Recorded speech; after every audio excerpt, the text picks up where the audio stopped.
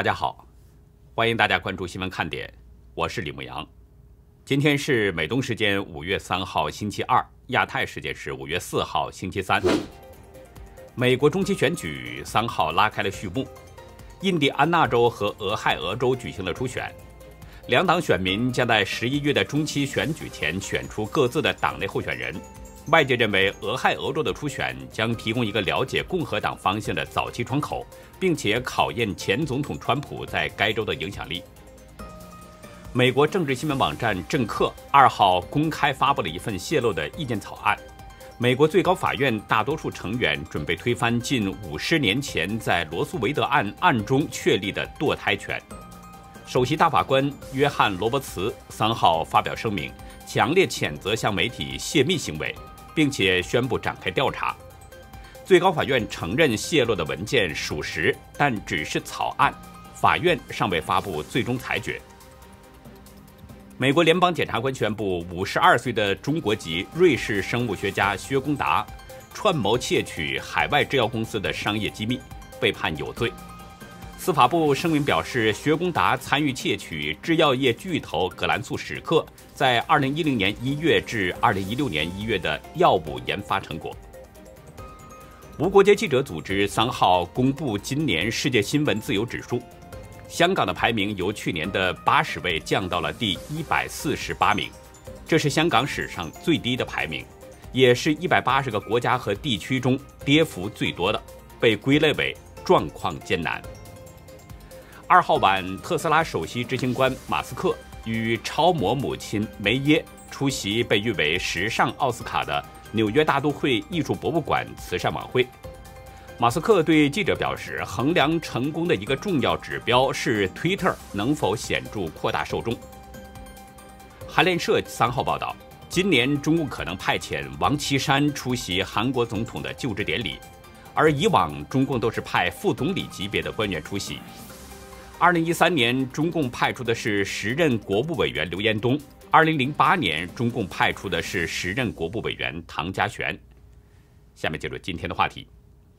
今天的话题有两个，一个是央视报假消息，马云躺枪的幕后有人在一石二鸟捞钱的同时打击习近平；另一个是上海至少连续发生了四起跳楼事件，崩溃的上海人。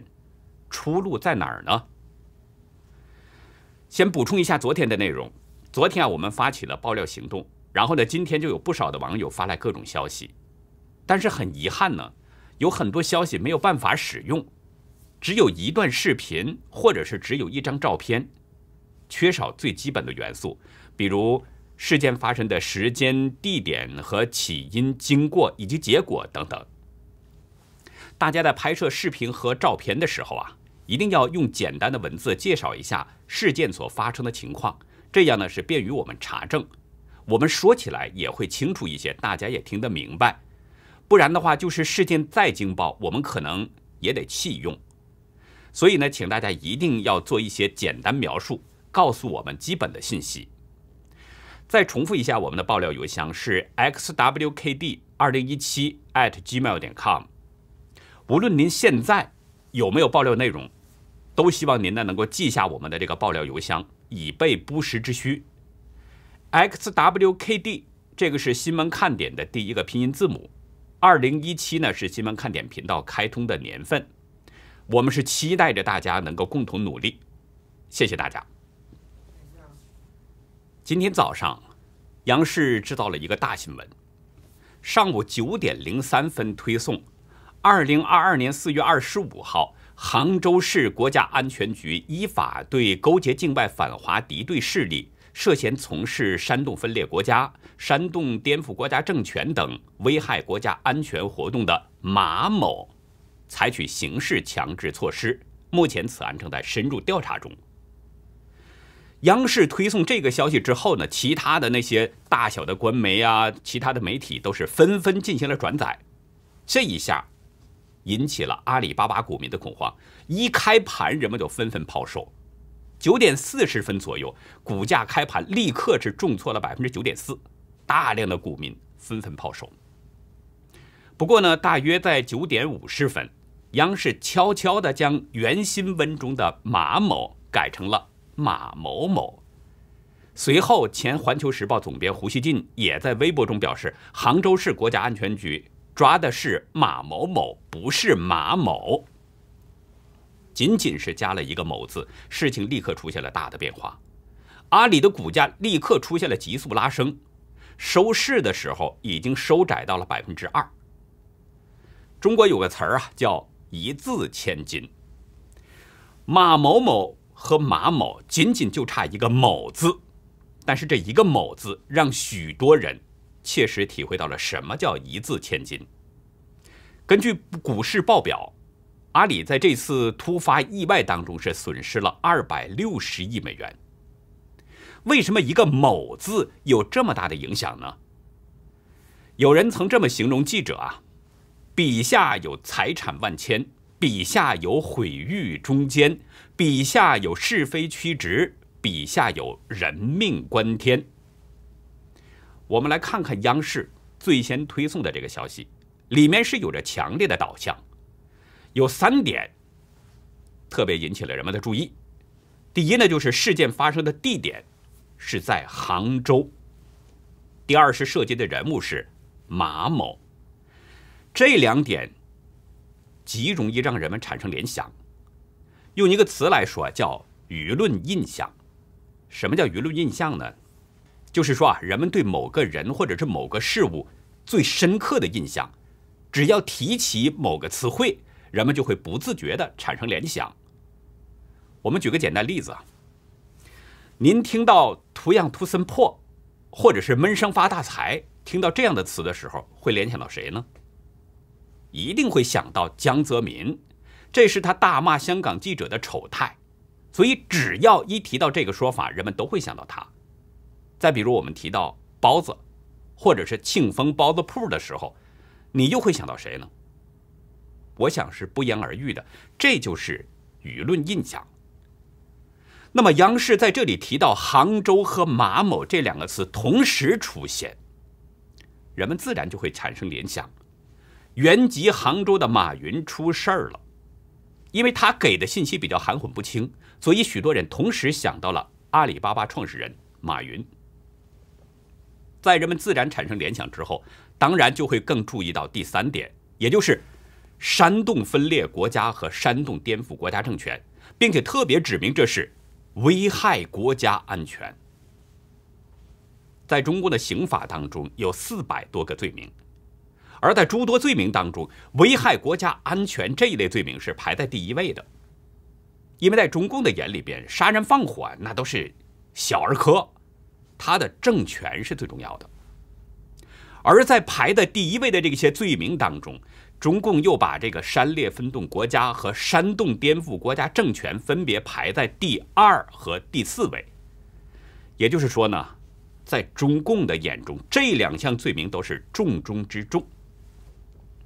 根据中国的刑法规定，煽动分裂国家的是处以五年以下有期徒刑；首要分子或罪行重大的，处以五年以上有期徒刑，直至无期徒刑；煽动颠覆国家政权的，处以五年以下有期徒刑；首要分子或罪行重大的，处以五年以上有期徒刑，直至无期徒刑。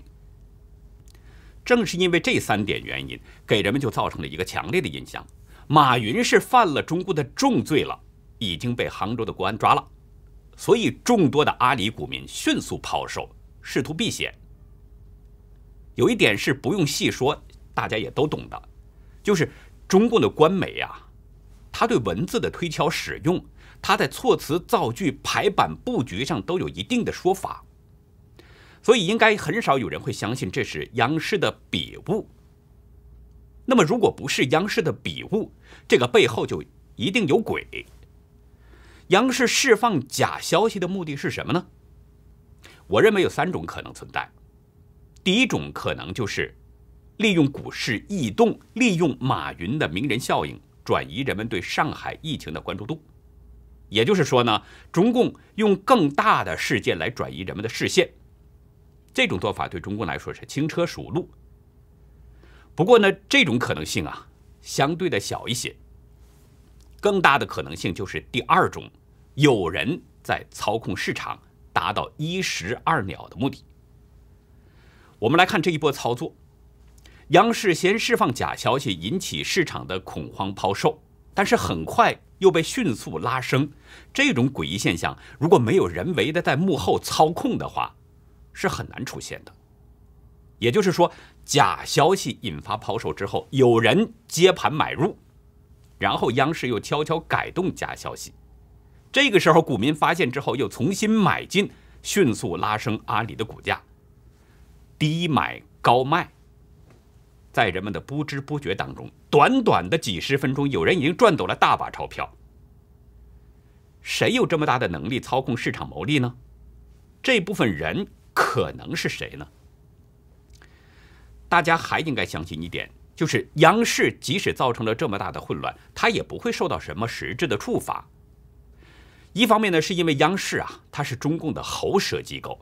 中共不会自己割自己的舌头，最多就是通报批评一声。另一方面呢，就是央视很可能是在按照某些人的指示，故意这么做的。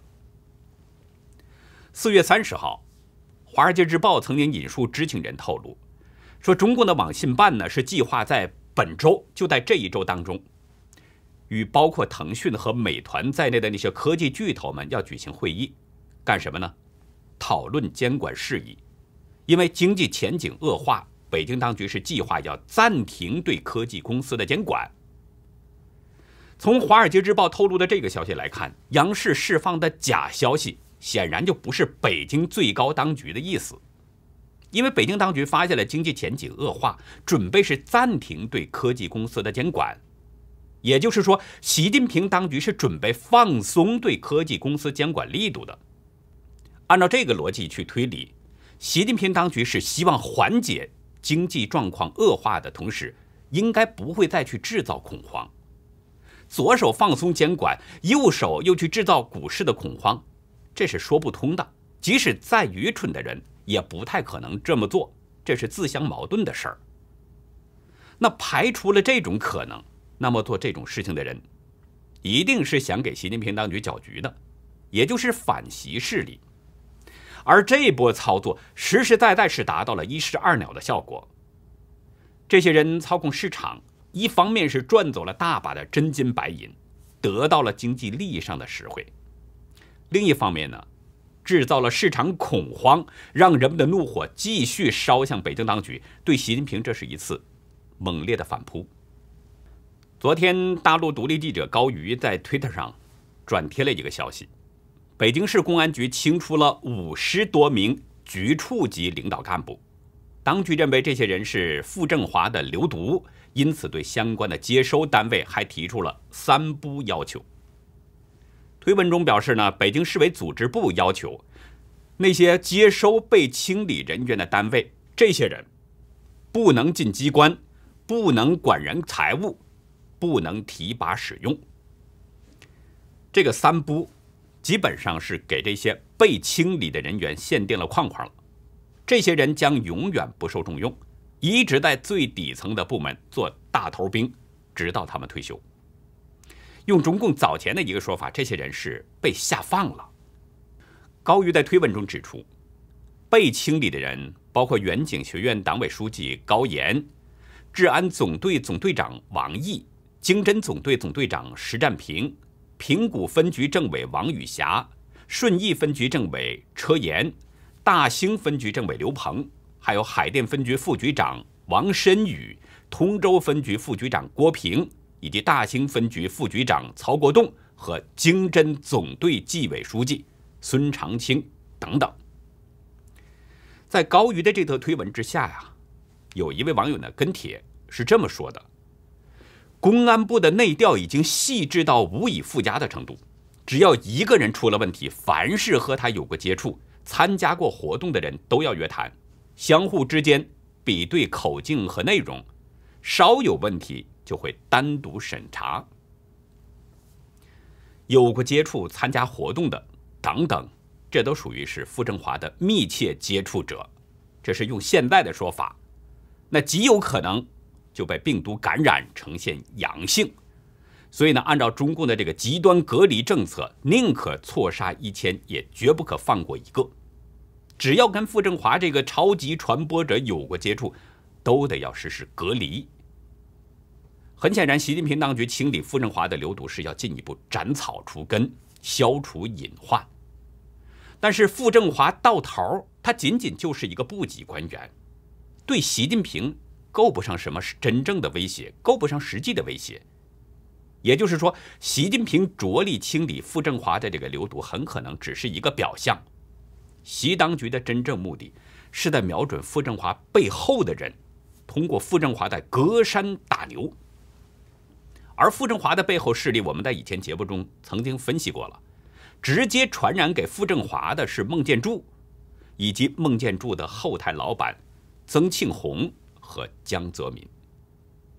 之前我就说过，在中共的二十大之前，各个派系为了各自的权势利益，彼此的政治角力会高潮迭起，相互的厮杀一定会相当惨烈。在这其中，可能会有一些无关紧要的那些中国的官员受到一些殃及，但是受影响最大的始终都是普通百姓。接下来呢，我们还是关注上海的疫情。上海在今天通报，昨天本土感染的新增病例是五千六百六十九例，使累计感染总数超过了五十八万两千人。今天通报的病例数已经是连续第十天下降了，比前一天是下降了百分之二十二点七。此外呢，上海今天还通报了二十例患者死亡，比前一天下降了百分之三十七点五。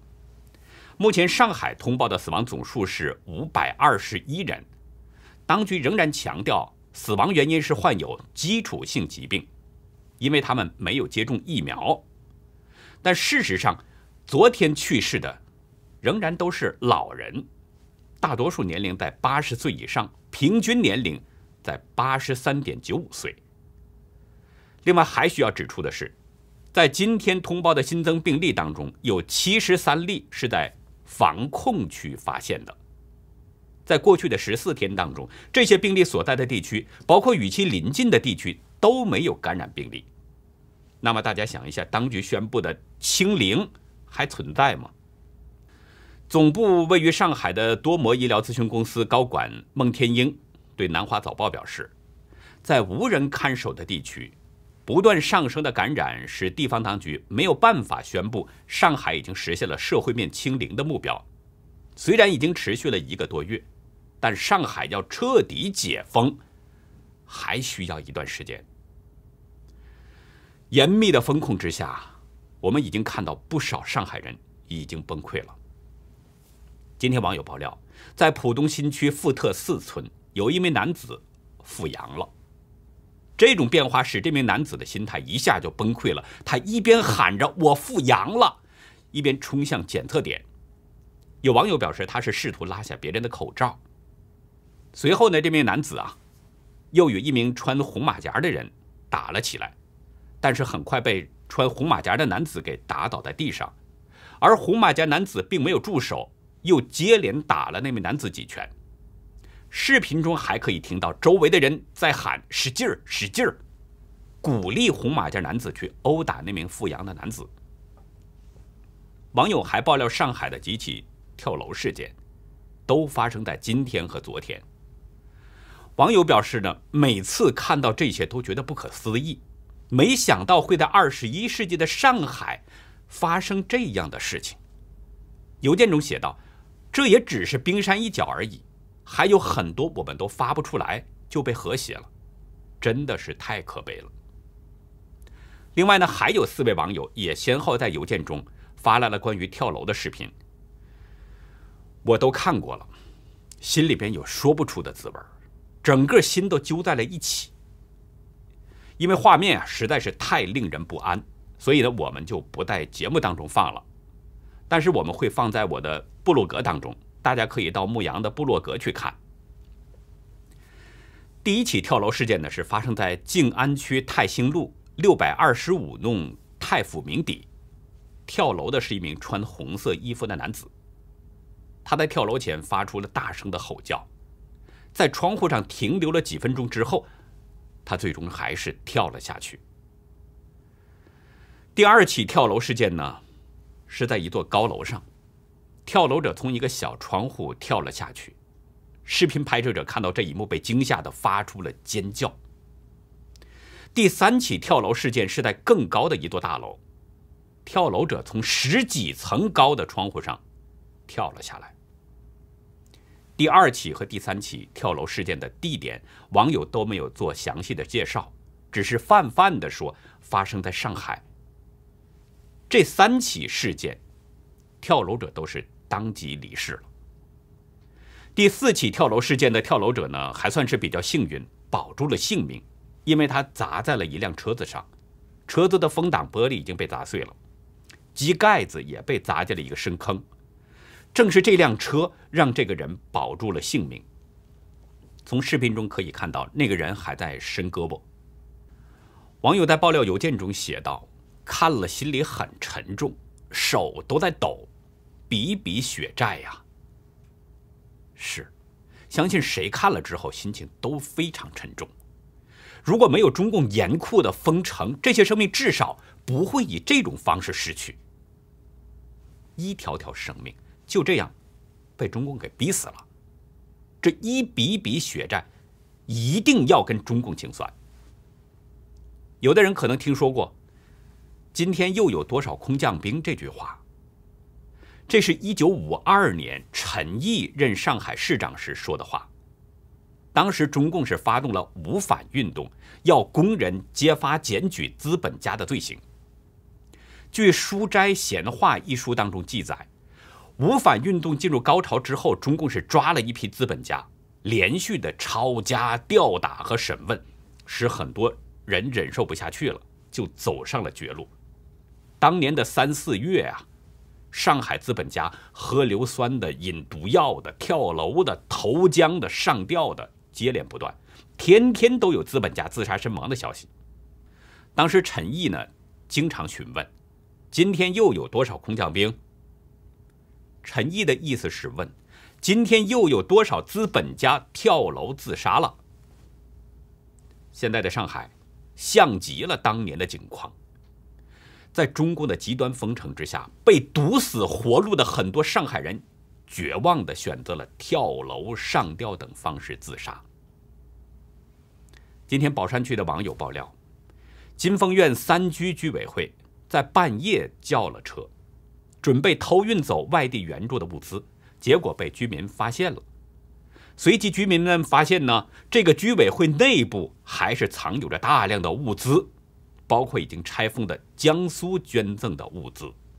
你怎么会整箱的放在这里的？这应该整箱发的一户一份呀！你拍啊！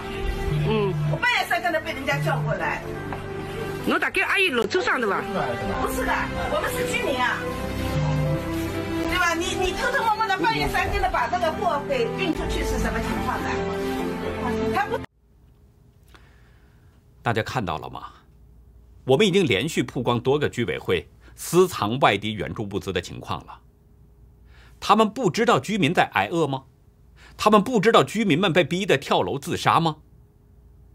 他们都非常的清楚，但是他们还在这么做。他们根本不在乎百姓是死是活，你的死对他构不成任何影响。他们该吃的吃，该喝的喝，该升官的照样升官。还有昨天。青浦区金泽镇将外地捐赠的物资放到超市里边去卖。有老人买猪肉，发现上面呢还有外地检疫和援助的印章。老人拿到镜头前曝光，那些白无常中共的警察不但不处理问题，反倒把老人是生拖硬拽，拉上了警车。这些中共的狗腿子们上下是串通一气，联手在欺压百姓。他们吃的是中共槽子里的草料，已经没有了人性了。网友今天还发给我两段视频，在一处小区的楼下，居民和警察发生了冲突，这些白无常使用了警棍和胡椒喷雾镇压百姓，有一名女子坐在地上是放声大哭。我可以打了，可以打了。拿拿棍子了，拿棍子了，拿棍子打人了。拿棍子打了。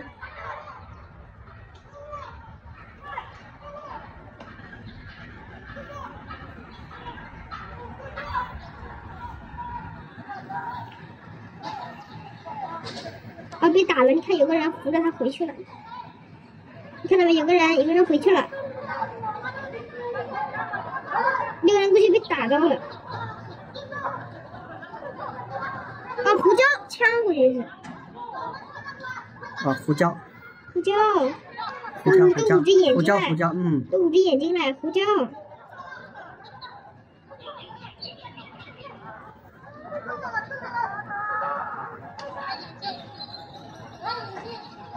眼睛，你看，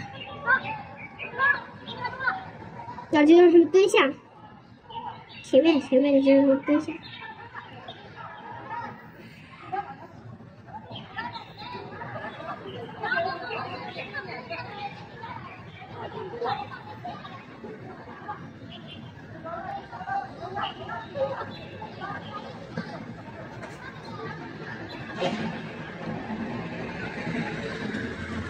肯定要杀你说的。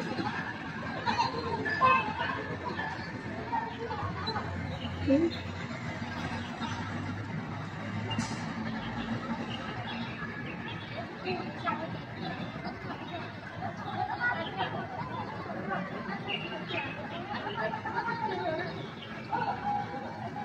你还不让他们拍？你看，有个人拍他还蹲下，你不让他们拍，脑子有病人。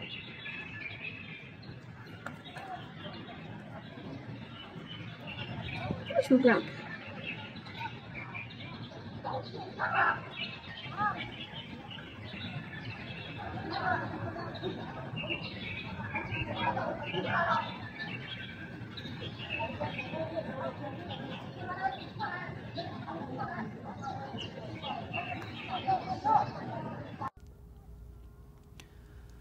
大家看看，很多人还称他们是人民警察，他们有一点为人民吗？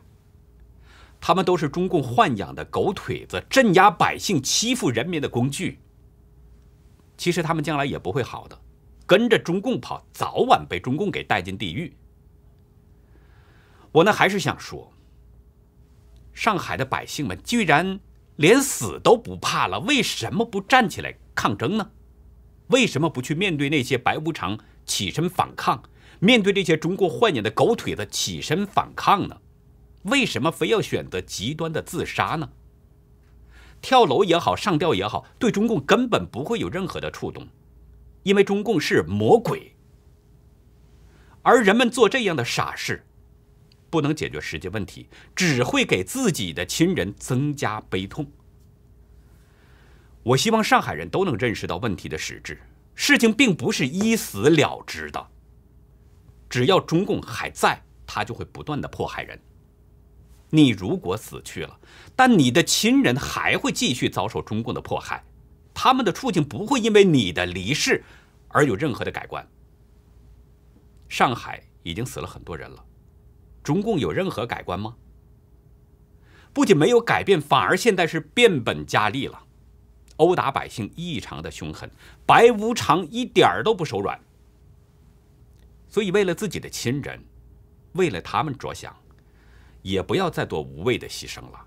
这不是解决问题的方式。要勇敢的站起来，曝光邪恶的暴行，和所有善良的百姓一起去努力的抗争。唯有解体中共，上海人，包括所有的中国百姓，才可能过上和平安定的日子，才会享受到与生俱来的自由。那好，以上就是今天节目的内容了。如果您喜欢新闻看点，请别忘记点赞订阅，也希望您在视频下方给我们留言，与我们进行互动。